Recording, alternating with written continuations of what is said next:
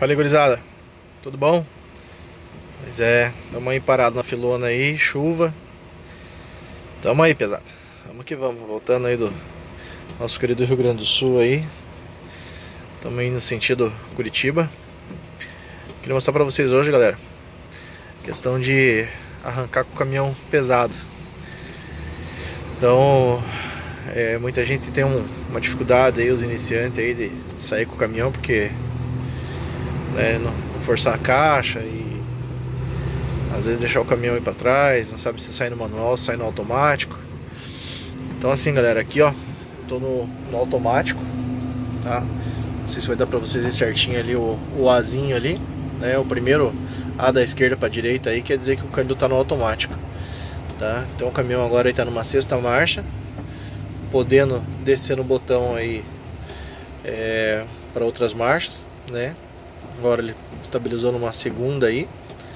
Tá? Então assim, galera, qual a dica que eu dou? Primeiro, o FH, ele tem esse cara aqui, ó. Tá? Que se eu segurar ele, ele vai travar a carreta, tá? E não vai deixar o caminhão descer. Então o caminhão não vai ter perigo de, de descer né, numa subida. Esse é o primeiro passo, galera. Muito bom essa, essa ferramenta aqui, é o tal do bigode, né? Que que alguns aí não, não conhecem, mas a galera mais antiga aí sabe como é que era. Antigamente a gente segurava aí no, no maneco da, da carreta, né? Como nesses caminhões já não tem mais, então é nesse cara aqui, ó.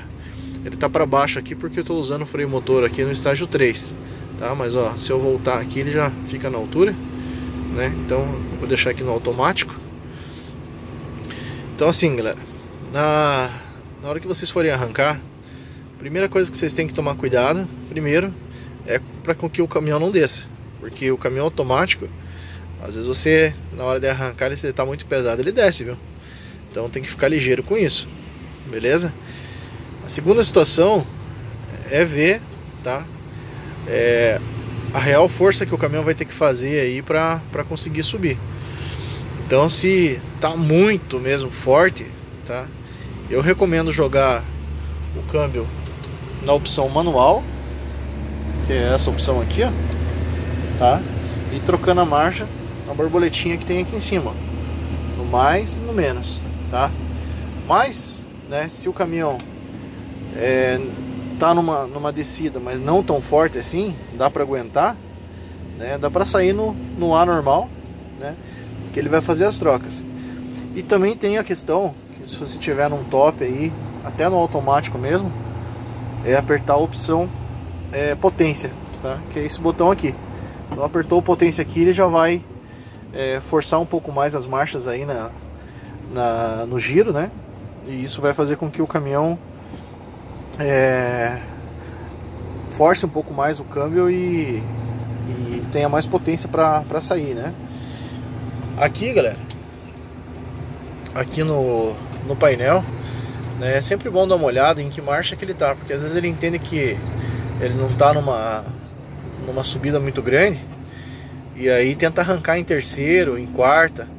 Tá? Então o ideal é sempre vocês ficarem de olho para saber em que em que marcha que ele tá ali. Ó, aqui, por exemplo, ele tá numa segunda. Eu não tô numa numa descida tão grande, mas se por exemplo eu tivesse, eu poderia jogar aqui o manual, né? Baixar para uma primeira e arrancar em primeira. Tá? Eu tô com o caminhão aí com as pelo menos aí umas 33, 34 toneladas. Então o bichinho tá tá no limite aí do que pode carregar. Ó, só que aí só tem que tomar esse cuidado, porque a marcha manual é rapidinho ali, o botãozinho do, do giro bate no vermelho, tá? Então tem que fazer as trocas sempre dentro do 15 ali, um pouquinho só depois do 15, não ultrapassando muito disso. Tá beleza? Então ó, aí você vai trocando, vai reduzindo. Vou reduzir para uma quarta agora. Ó, vou reduzir para uma terceira. Não tem segredo, galera. É, é sentindo o motor do caminhão. Ó, passei para uma primeira. Forçou mais, tá vendo? Ó batendo o botão, trocando de marcha.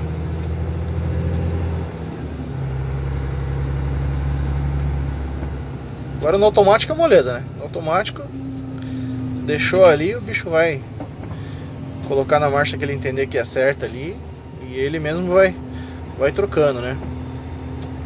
É, esse caminhão tem uma, uma situação que ele dá uma que vamos dizer assim uma travada ali na, na aceleração não, por mais que você soque o pé nele tá? Ele não vai arrancar mais. Para outros caminhão aí né, eu recomendo sempre não, não acelerar demais também né não, não socar o pé aí porque é peso galera. É peso para poder sair vai aumentar um pouquinho mais o desgaste aí das peças né do caminhão aí com a, uma arrancada assim forte. Beleza? Fica a dica para vocês então aí.